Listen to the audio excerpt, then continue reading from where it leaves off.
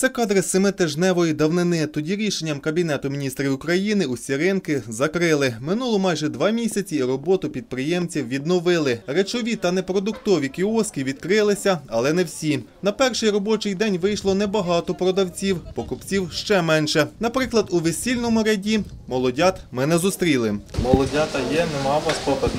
Нема, нема ще.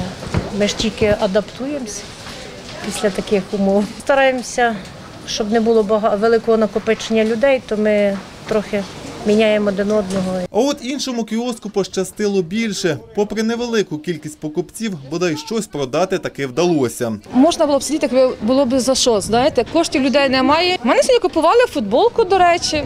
У мене от е, в дівчат.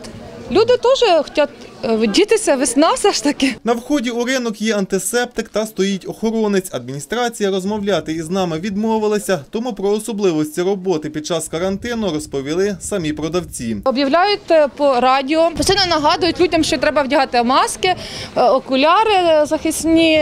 Ми постійно тут люди заходять, беруть антисептик. Нечисленна когорта покупців каже, прийшли за найнеобхіднішим. За чим прийшли на ринок? За взуття. Я думаю, поки що ще відкрився, то ще можливо все спокійно і хорошо, бо ніхто не знає, що буде далі. штани купити, бо голо. Чим прийшли на ринок? Одітися щось, бо виросло все. Продавці зізнаються, навіть попри закритий ринок вдалося організувати інтернет-продажі. Тому робота, хоча б яка, але була. Життя заставило так, е, зібрала все, перефотографувала і виставила. Зробила групу в Вайбері. Речі гарні, якість гарна. За роки маю вже своїх клієнтів і таким чином трошки протрималися. Максим Посполіта, Сергій Криштопа, головні новини Хмельниччини, Ті 8